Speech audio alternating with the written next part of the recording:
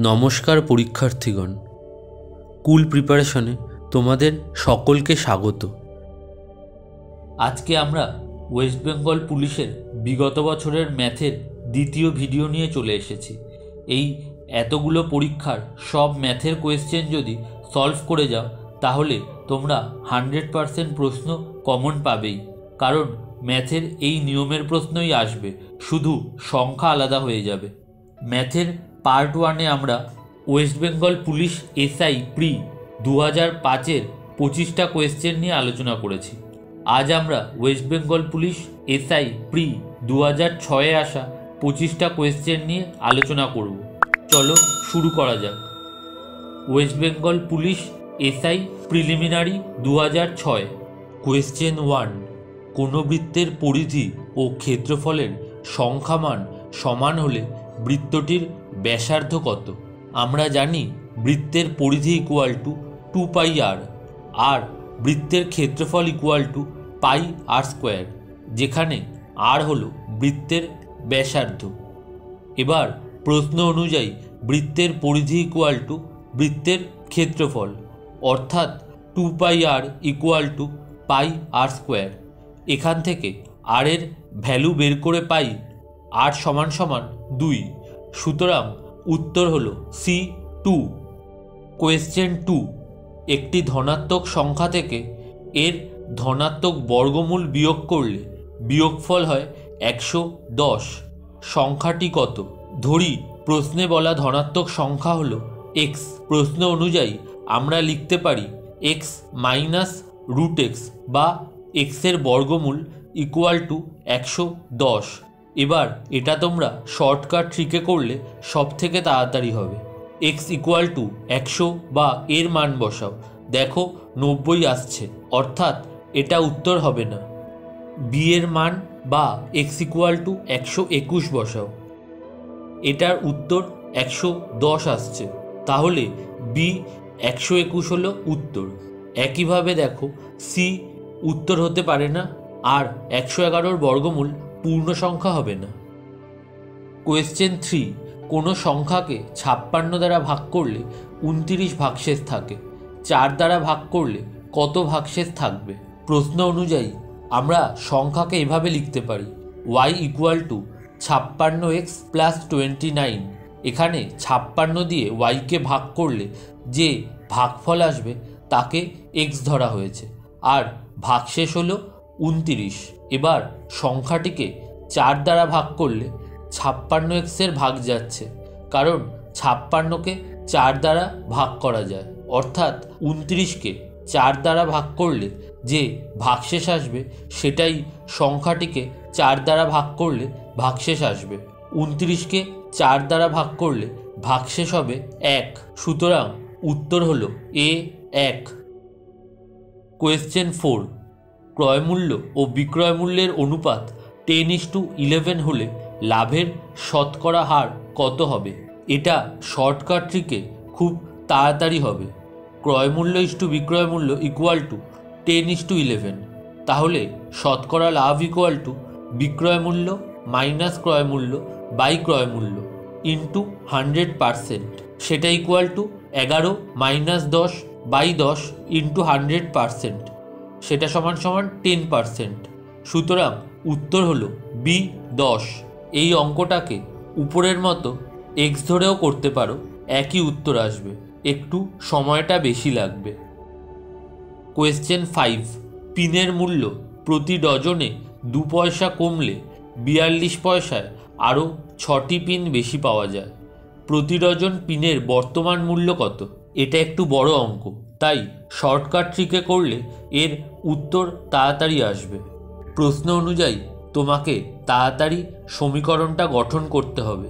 তারপর অপশানের মান বসিয়ে দেখতে হবে। ধরি ডজন মূল্য ইকুয়াল টু এক্স পয়সা। বিয়াল্লিশ পয়সায় পিন হবে বিয়াল্লিশ বাই এক্স ডজন প্রতি ডজনে দু পয়সা দাম কমার পর বিয়াল্লিশ পয়সায় পিন হবে বিয়াল্লিশ by x minus two dozen প্রশ্ন অনুযায়ী বিয়াল্লিশ by x minus two equal to বিয়াল্লিশ বাই এক্স প্লাস একের দুই। এক ডজন মানে বারোটি আর ছটি মানে হলো ছয় বাই বারো ইকুয়াল টু একের দুই ডজন। এবার সমীকরণে অপশানের মানগুলি বসিয়ে দেখব। Option A B C D এর মধ্যে শুধু অপশান ডি চোদ্দোর জন্য সমীকরণটি প্রযোজ্য হচ্ছে। অর্থাৎ উত্তর হল ডি চোদ্দ পয়সা। কোয়েশ্চেন সিক্স যদি কোনো কাজ বারো জন লোক কুড়ি দিনে করে, তাহলে পনেরো জন লোক কত দিনে কাজটি শেষ করবে? বারো জন লোক একটি কাজ করে কুড়ি দিনে, তাহলে একজন লোক কাজটি করবে কুড়ি ইন্টু বারো দিনে, আর পনেরো জন লোক কাজটি করবে কুড়ি ইন্টু বারো বাই পনেরো দিনে। এটাকে সলভ করতে হবে। তাহলে উত্তর হবে ষোলো দিনে। সুতরাং উত্তর হলো অপশান সি, ষোলো। কোয়েশ্চেন সেভেন, কোনো শ্রেণির পরীক্ষায় বাহাত্তর পার্সেন্ট ছাত্র, অঙ্কে সত্তর পার্সেন্ট ছাত্র ইংরেজিতে ও ষাট পার্সেন্ট ছাত্র উভয় বিষয়ে পাশ করেছে। মোট ছাত্রের সংখ্যা পঞ্চাশ হলে উভয় বিষয়ে কতজন ছাত্র ফেল করেছে? এই টাইপের অঙ্ক আগের বছর ডব্লিউবিপি এসআই প্রিলিমিনারি দু হাজার পাঁচে একটা এসেছিল। সেখানে একটা নিয়মে অঙ্কটা করা ছিল আর এখানে আর একটা নিয়মে করছি। শুধু অঙ্কে পাশ করে বাহাত্তর পার্সেন্ট মাইনাস ষাট পার্সেন্ট, সেটা সমান সমান বারো পার্সেন্ট। এখানে অঙ্কে পাশ করে থেকে উভয় বিষয়ে পাশ বাদ দিতে হয়েছে, শুধু অঙ্কে পাশ করে পেতে। একইভাবে শুধু ইংরাজিতে পাশ করে সত্তর পার্সেন্ট মাইনাস ষাট পার্সেন্ট সেটা সমান সমান টেন পার্সেন্ট তাহলে একটি বা উভয় বিষয়ে পাশ করে twelve percent plus ten percent plus sixty percent সেটা সমান সমান বিরাশি পার্সেন্ট সুতরাং উভয় বিষয়ে ফেল করে একশো পার্সেন্ট মাইনাস বিরাশি percent equal to eighteen percent অর্থাৎ পঞ্চাশ জন ছাত্রে উভয় বিষয়ে ফেল করে, পঞ্চাশ ইন্টু আঠেরো বাই একশো, সেটা সমান সমান নজন। সুতরাং উত্তর হলো অপশান সি নজন। কোয়েশ্চেন এইট কোনো গোলকের সমগ্র তলের ক্ষেত্রফল একশো পাই হলে এর ব্যাসার্ধ কত? আমরা জানি গোলকের সমগ্র তলের ক্ষেত্রফল হল ফোর পাই আর স্কোয়ার যেখানে আর হলো গোলকের ব্যাসার্ধ। প্রশ্ন অনুযায়ী four pi r square equal to একশো pi R R square equal to পঁচিশ, সুতরাং আর ইকুয়াল টু ফাইভ এখানে গোলকের ব্যাসার্ধ হলো ফাইভ সুতরাং উত্তর হলো option D five question nine পঁয়ত্রিশ লিটার মিশ্রণে দুধ ও জলের অনুপাত ফোর ইস টু ওয়ান যদি মিশ্রণে আরও সাত লিটার জল মেশানো হয়, তাহলে দুধ ও জলের অনুপাত কত হবে? এখানে দুধ ও জলের অনুপাত ফোর ইস টু ওয়ান পঁয়ত্রিশ লিটারে দুধ আছে পঁয়ত্রিশ ইন্টু ফোর বাই ফাইভ সেটা সমান সমান আঠাশ লিটার। আর পঁয়ত্রিশ লিটারে জল আছে পঁয়ত্রিশ ইন্টু ওয়ান বাই ফাইভ সেটা সমান সমান সাত লিটার। এবার আরও সাত লিটার জল মেশানোর ফলে জল হলো সাত প্লাস সাত ইকুয়াল টু চোদ্দ লিটার আর আগের মতো দুধ থাকল আঠাশ লিটার এখন দুধ ইস্টু জল ইকুয়াল টু আঠাশ ইস টু চোদ্দ, সেটা equal to two is to one সুতরাং উত্তর হলো option C two is to one question ten যদি এর কুড়ি পার্সেন্ট ইকুয়াল টু বি এর পঞ্চাশ পার্সেন্ট হয়, তাহলে বি এর শতকরা কত অংশ? প্রশ্ন অনুযায়ী এর কুড়ি পার্সেন্ট ইকুয়াল টু বি এর পঞ্চাশ পার্সেন্ট অর্থাৎ এ ইন্টু কুড়ি বাই একশো ইকুয়াল টু বি ইন্টু পঞ্চাশ বাই একশো। এখান থেকে পাই বি ইকুয়াল টু দুইয়ের পাঁচ ইন্টু এ প্রশ্নে বি এর শতকরা কত অংশ জানতে চেয়েছে? তাই একশো পার্সেন্ট দিয়ে গুণ করে পাই ফর্টি পার্সেন্ট অফ এ সুতরাং উত্তর হল option A forty percent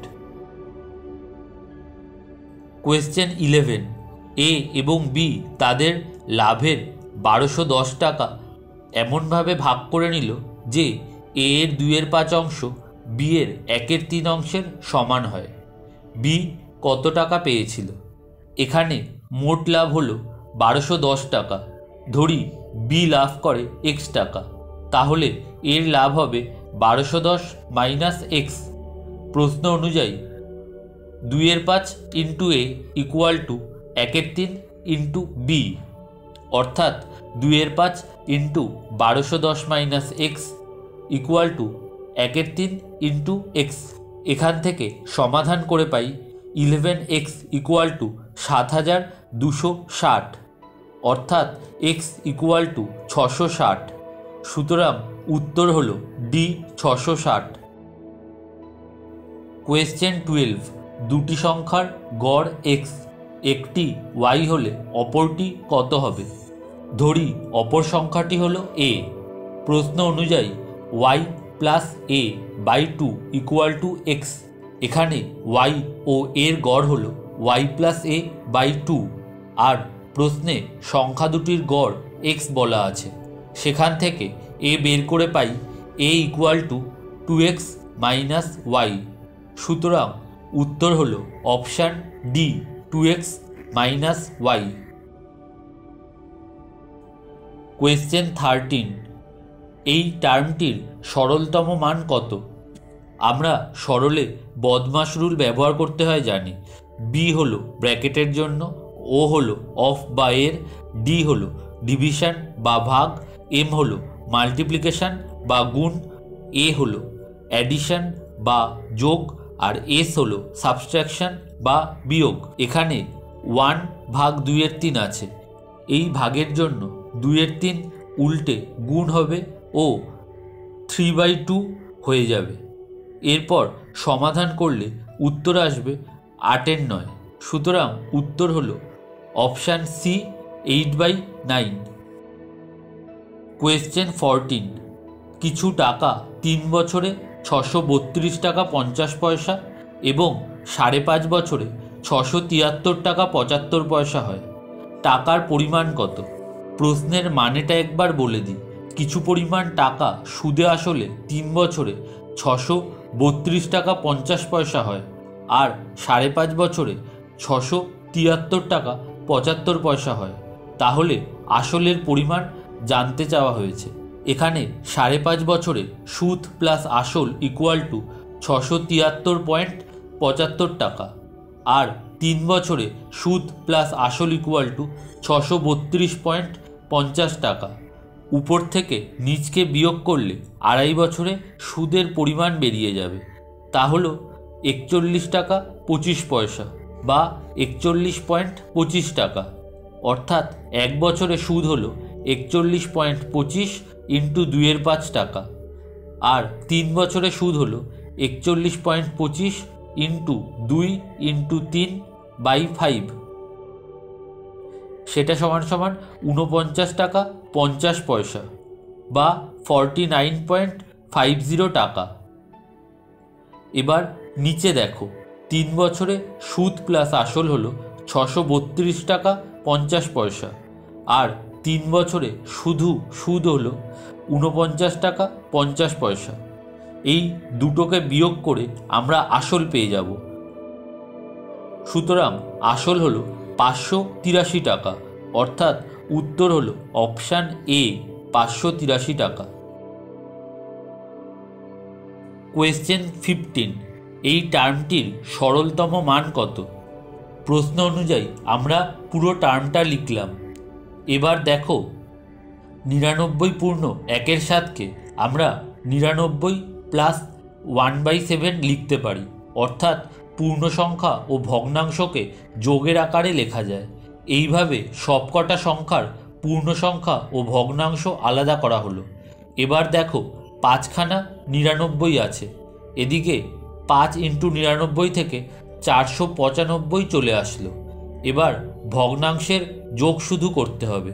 একের সাত প্লাস দুইয়ের সাত প্লাস তিনের সাত প্লাস চারের সাত প্লাস এগারোর সাত।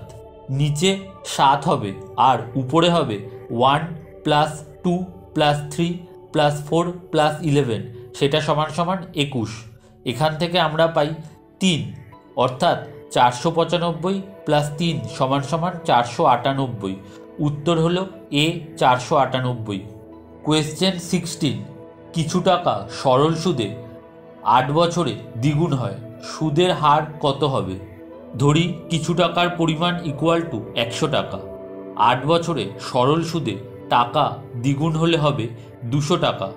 অর্থাৎ আট বছরে একশো টাকায় সুদ হলো দুশো মাইনাস একশো ইকুয়াল টু একশো টাকা। আর এক বছরে একশো টাকার সুদ হলো একশো বাই আট টাকা। সেটা সমান সমান পঁচিশ বাই দুই টাকা ইকুয়াল টু বারো পূর্ণ একের দুই টাকা। অর্থাৎ সরল সুদের হার হলো বারো পূর্ণ একের দুই পার্সেন্ট সুতরাং উত্তর হলো এ বারো পূর্ণ একের দুই পার্সেন্ট কোয়েশ্চেন সেভেন্টিন তিনটি সংখ্যার গড় বারো, বৃহত্তম ষোলো ও ক্ষুদ্রতমটি বৃহত্তমের অর্ধেক, অপর সংখ্যাটি কত? প্রশ্নে বলা আছে, তিনটি সংখ্যার গড় ইকুয়াল টু বারো, অর্থাৎ তিনটি সংখ্যার মোট যোগফল ইকুয়াল টু বারো ইন্টু তিন ইকুয়াল টু থার্টি সিক্স বৃহত্তম সংখ্যা হলো ষোলো, ক্ষুদ্রতম সংখ্যা হলো বৃহত্তমের অর্ধেক, অর্থাৎ ষোলো বাই দুই ইকুয়াল টু আট, অপর সংখ্যাটি হলো ছত্রিশ মাইনাস ষোলো মাইনাস আট সেটা সমান সমান বারো। সুতরাং উত্তর হলো অপশান ডি, বারো। কোয়েশ্চেন এইটিন নিম্নের কোনটি বৃহত্তম? Root two, three to the power one by three, four to the power one by four আর এক। এবার এই চারটি টার্মকে সদৃশ দেখতে এই ফরম্যাটে নিয়ে আসতে হবে। এবার রুট টুকে আমরা টু এর পাওয়ারে একের দুই এইভাবে লিখতে পারি, সেমভাবে দ্বিতীয়টাকে তিনের পাওয়ারে একের তিন এভাবে লিখতে পারি, তার পরেরটা চারের পাওয়ারে একের চার এভাবে লিখতে পারি, আর এককে একের পাওয়ারে একের এক এভাবে লিখতে পারি। এবার পাওয়ারে, তলায় বা হরে যে দুই, তিন, চার, এক আছে, তার লসাগু করে সবকটাকে সমান করতে হবে। তাহলে দুই, তিন, চার এর লসাগু হবে বারো। এবার অপশান একে লিখতে পারি, টু টু দুই পাওয়ার ছয় বাই বারো করে, অর্থাৎ পাওয়ারে উপরে নিচে ছয় গুণ করা হয়েছে। অপশান বিকে লিখতে পারি three to the power four by twelve করে। এখানে উপর নিচে চার গুণ করা হয়েছে, নিচে বারো আনার জন্য। একইভাবে সিকে four to the power three by twelve করে লিখতে পারি, আর decay one to the power twelve by twelve করে লিখতে পারি। এবার এ বি সি ডি কে আমরা এভাবে লিখতে পারি। Twelve root of two to the power six এর জন্য twelve root of three to the power four B এর জন্য twelve root of four to the power three C এর জন্য, আর twelve root of one to the power twelve D এর জন্য। এবার একে লিখতে পারি twelve root of sixty four হিসেবে বিকে লিখতে পারি twelve root of eighty one হিসেবে সিকে লিখতে পারি twelve root of sixty four হিসেবে। আর ডিকে লিখতে পারি টুয়েলভ রুট অফ ওয়ান হিসেবে। কারণ ওয়ানের যতবার বর্গ করো, একই আসবে। তাহলে এবার দেখে তোমরা বুঝতে পারছ অপশান বি হলো বৃহত্তম। সুতরাং উত্তর হলো option B three root of three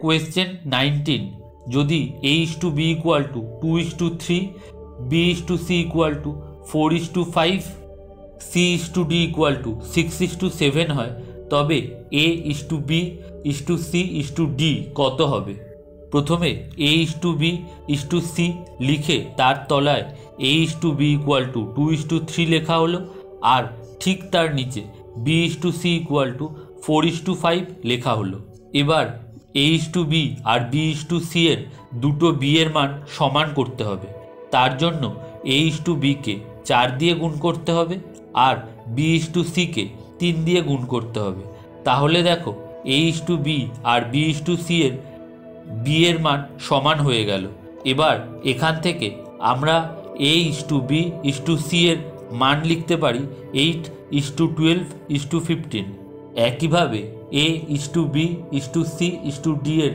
তলায় প্রথমে A is to B is to C equal to eight is to twelve is to ফিফটিনের মান লিখলাম তারপর তার নিচে C is to D equal to six is to seven লিখলাম এবার A is to B is to C R C is to D এর দুটো C এর মান সমান করতে হবে তার জন্য A is to B is to সিকে দুই দিয়ে গুণ করি আর সি ইস টু ডিকে পাঁচ দিয়ে গুণ করি দুটো লাইনের সি এর মান সমান হয়ে গেল অর্থাৎ এখান থেকে পাই A is to B is to C is to D equal to ষোলো ইস টু চব্বিশ ইস টু তিরিশ ইস টু পঁয়ত্রিশ সুতরাং উত্তর হলো option A A is to B is to C is to D equal to ষোলো is to চব্বিশ is to তিরিশ ইস টু পঁয়ত্রিশ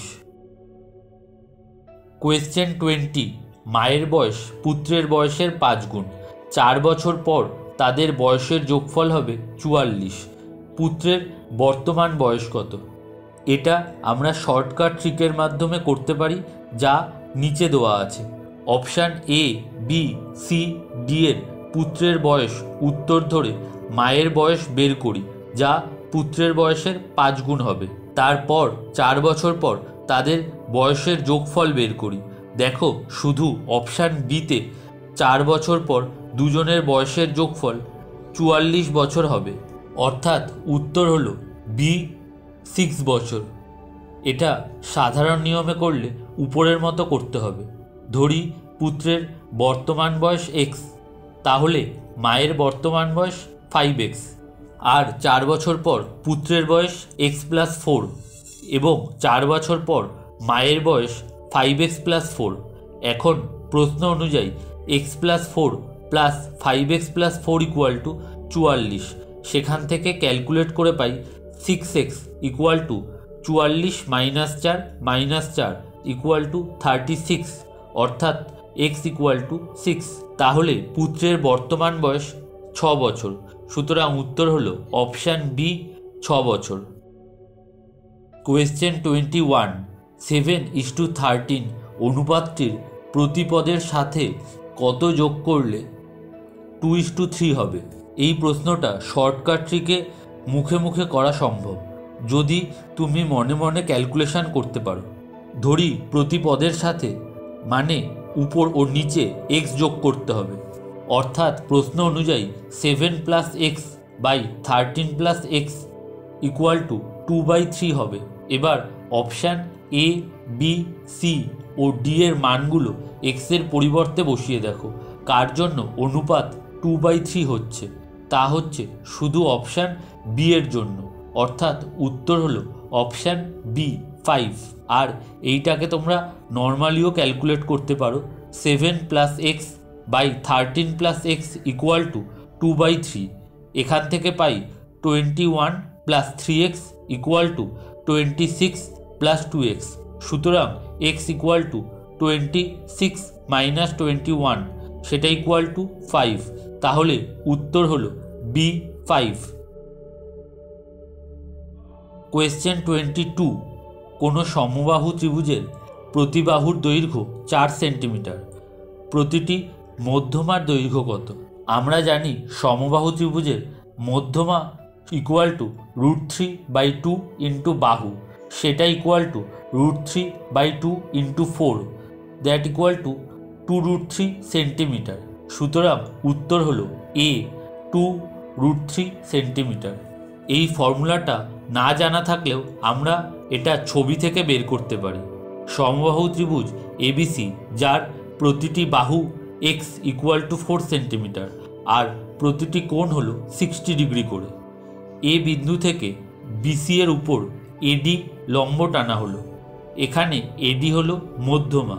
এবার সমকোণী ত্রিভুজ এ সি ডি থেকে পাই sine sixty degree equal to লম্ব বাই অতিভুজ। সেটা equal to AD by AC equal to y by x অর্থাৎ y equal to x sine sixty degree.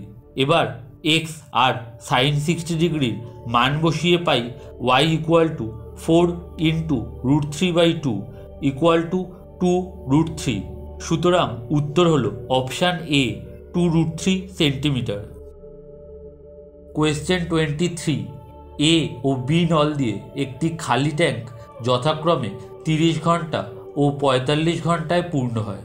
উভয় নল একই সঙ্গে খুলে দিলে কত সময় ট্যাঙ্কটি পূর্ণ হবে? প্রশ্ন অনুযায়ী এ নল তিরিশ ঘন্টায় পূর্ণ করে এক অংশ আর এক ঘন্টায় পূর্ণ করে একের তিরিশ অংশ।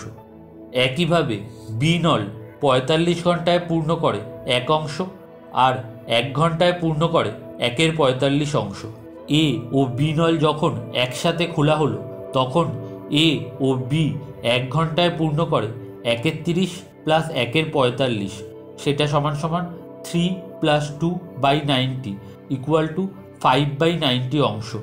অর্থাৎ এ ও বি ফাইভ বাই নাইনটি অংশ পূর্ণ করে এক ঘন্টায় আর এক অংশ পূর্ণ করে নাইনটি বাই ফাইভ ঘন্টায়। সেটা ইকুয়াল টু আঠেরো ঘণ্টা। সুতরাং উত্তর হল অপশান সি আঠেরো ঘণ্টা। কোয়েশ্চেন টোয়েন্টি ফোর কোনো বিজোড় স্বাভাবিক সংখ্যার বর্গকে আট দ্বারা ভাগ করলে কত অবশিষ্ট থাকে? এটা আমাদের শর্টকাট ট্রিকের মাধ্যমে করতে হবে। তিন, পাঁচ, সাত, নয়, এগারো কিছু বিজোড় সংখ্যার বর্গ করে তাকে আট দিয়ে ভাগ করে দেখো। দেখবে প্রতি ক্ষেত্রে এক ভাগশেষ থাকে। সুতরাং উত্তর হলো option D one. Question twenty five একটি ব্যাগে এক টাকা পঞ্চাশ পয়সা ও পঁচিশ পয়সার মুদ্রা সংখ্যার অনুপাত two is to three is to five. তাদের মূল্যের অনুপাত কত হবে? প্রশ্ন অনুযায়ী এক টাকা পঞ্চাশ পয়সা ও পঁচিশ পয়সার মুদ্রার সংখ্যার অনুপাত two is to three is to five. এবার প্রশ্নে এদের মূল্যের অনুপাত বের করতে বলেছে। এবার আমরা জানি এক টাকা মানে একশো পয়সা, পঞ্চাশ পয়সা ও পঁচিশ পয়সা মানে কত টাকা দেখে নিই একবার। পঞ্চাশ পয়সা ইকুয়াল টু পঞ্চাশ বাই একশো টাকা ইকুয়াল টু একের দুই টাকা আর পঁচিশ পয়সা ইকুয়াল টু পঁচিশ বাই একশো টাকা ইকুয়াল টু একের চার টাকা। এবার উপরে মুদ্রার সংখ্যার অনুপাত থেকে যখন মূল্যের অনুপাতে কনভার্ট করব, তখন পঞ্চাশ পয়সার মুদ্রার সংখ্যাকে একের দুই দিয়ে গুণ করতে হবে আর পঁচিশ পয়সার মুদ্রার সংখ্যাকে একের চার দিয়ে গুণ করতে হবে। তাহলে মূল্যের অনুপাত দাঁড়াল two is to three by two is to five by four এবার ভগ্নাংশ সরানোর জন্য সবাইকে চার দিয়ে গুণ করে পাই। Eight is to six is to five অর্থাৎ এক টাকা পঞ্চাশ পয়সা ও পঁচিশ পয়সার মূল্যের অনুপাত হবে eight is to six is to five সুতরাং উত্তর হলো option C eight is to six is to five ভিডিওটি ভালো লাগলে ভিডিওটি লাইক করো, তারপর শেয়ার করো তোমার দশজন পরিচিতর সাথে যারা এই ভিডিওটি দেখে উপকৃত হবে। এরপর চ্যানেলটি সাবস্ক্রাইব করো। এবং বেল আইকনটি প্রেস করো নতুন ভিডিও আপডেটের জন্য। আর নিচে কমেন্ট বক্সে জানাও ভিডিওর কোন অ্যানিমেশন পোর্শন তোমার ভালো লেগেছে। সেই অনুযায়ী আমরা আরও ভালো করে অ্যানিমেশন ভিডিও বানানোর চেষ্টা করব। এরপর অন্যান্য ভিডিও দেখার জন্য চ্যানেলটিতে প্রবেশ করো। তারপর ভিডিও সেকশন থেকে তোমার পছন্দ মতো অন্যান্য ভিডিও দেখতে পারো। ধন্যবাদ।